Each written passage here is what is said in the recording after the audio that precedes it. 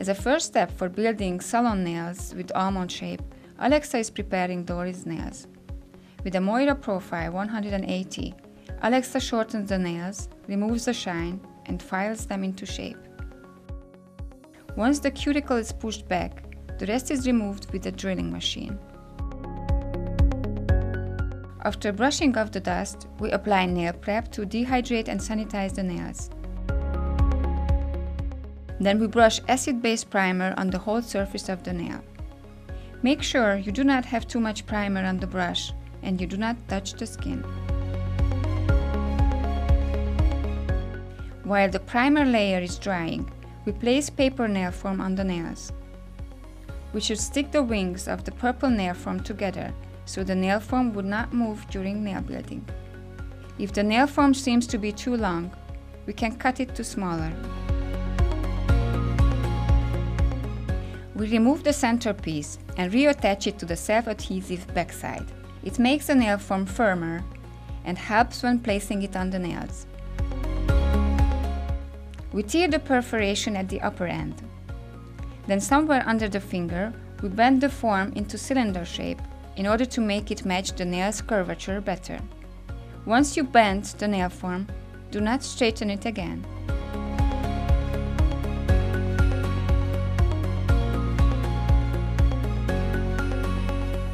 Then let's try the nail form to the nail. Very often it does not fit perfectly for the first time. It is normal, so what can we do? If the paper is not right under the nail corners, then we should cut the form deeper with scissors.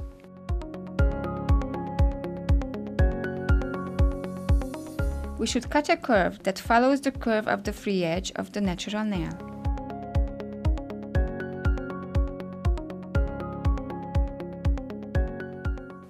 After cutting, we fit the nail form under the free edge. It's important that the middle line of the nail form should follow the middle line of the nail.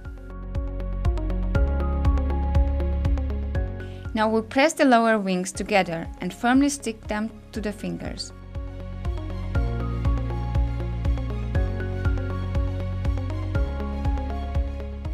Make sure you fit the wings perfectly together, because if the form is slanted, the nail will be slanted too. If you wish to make narrower nails, then you need to cut the nail form at the corners.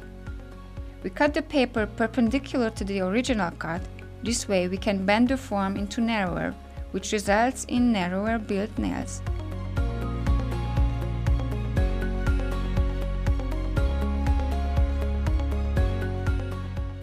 We build the nails this long on the form. Make sure the nail form does not go up or descend. It should be a straight continuation of the natural nail plate. The form should be bent so it would curve within the corner points. And there should be no gap between the form and the free edge. It is important. To build the nails, we are going to use acrylic brush number 10 called Prestige by Alexa. This is a relatively short, firm, natural haired brush. Its flat head is big enough to pick up a bigger bead of acrylics. Its well-defined edges come very handy when we want to create the sidelines. The pointy tip is essential when making a perfect smile line. Before creating the almond-shaped nail, we brush a little bit of liquid on the nail so the acrylics would level more evenly. We pick up a middle-sized bead and soak off the extra liquid on a paper towel. We start off from the free edge and proceed towards the cuticle.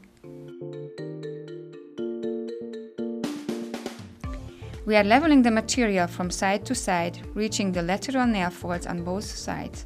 It is important to smooth the material at the back of the nails, otherwise there will be a visible line on the nail, even if we build a transparent nail. So we should take care of thinning the material at the back and about creating a nice C-curve across the nail. This means the material should be thinner by the sides and thicker in the middle.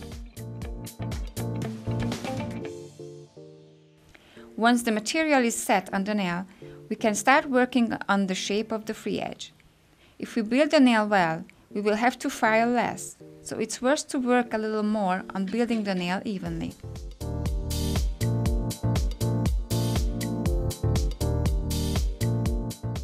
We place and smooth the next bead of material at the back of the nail. We are leveling the material with tapping moves and blend it into the free edge built previously.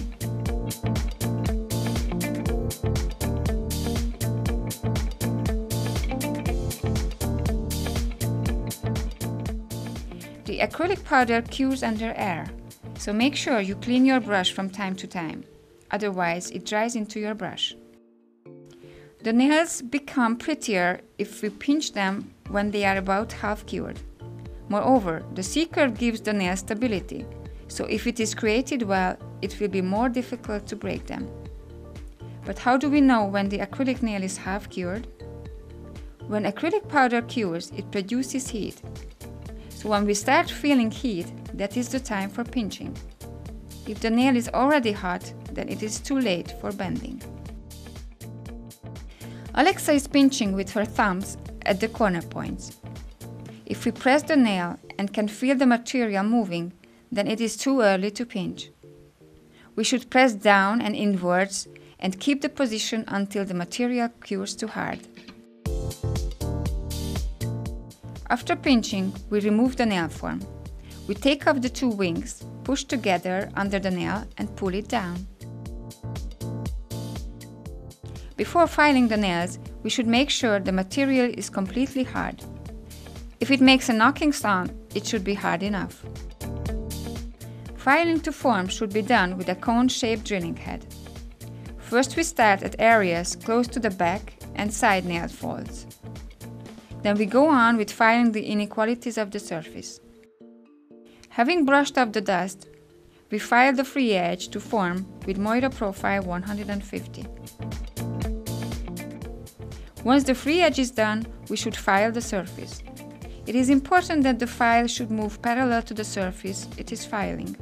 First we file the areas close to the skin at the back and the sides, then we move to the rest of the surface.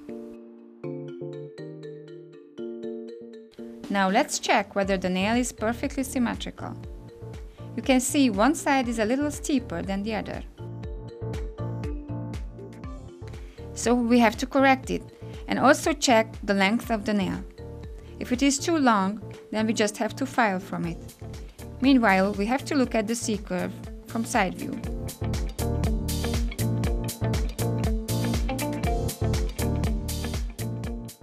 In order to have even surface from all sides, we can drill the nail from below too.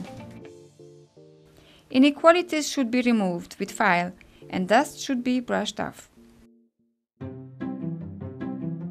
We will apply Moyra Super Shine Gel on the acrylic nails, so we need to buff the surface just a little bit.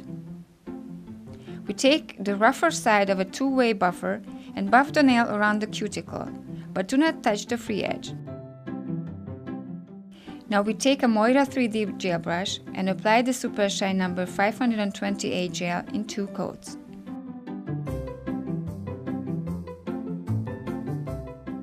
When applying the first coat, we brush some gel on the edge too. To even out the layer at the edge, we brush the whole surface again. Then after about 30 seconds of curing, we apply the second layer. This layer can be a little thicker than the first one, and we do not need to brush the edges this time. The second layer should be cured to hard in about 2 minutes. The super gels need no cleansing, so after buffing the surface a little, we can stamp on it. We clean the plate number 1 globe Globetrotter with acetone-free nail polish remover before use. We apply some gold stamping polish on the chosen design, scrape it, pick it up and stamp on the nail.